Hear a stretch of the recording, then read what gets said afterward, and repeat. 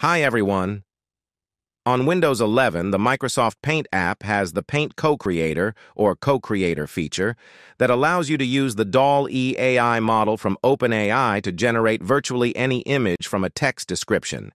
Paint Co-Creator isn't meant to be a feature to create a complete image. Instead, it's meant to create a starting point to spark creativity and continue creating.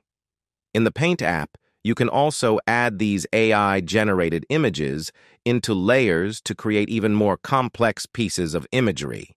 At the time of this writing, Paint Co-Creator is available in preview to users in the United States, France, United Kingdom, Australia, Canada, Italy, and Germany.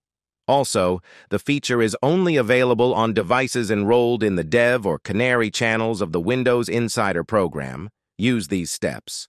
First, open Paint on Windows 11 and click the Profile menu on the top right side. Next, confirm you're signed in with your Microsoft account and click the Co-Creator button from the toolbar.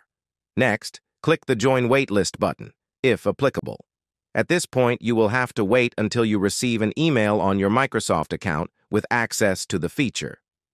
Next, compose a description of the image you want to create and select one of the three samples to add the image to your Paint canvas.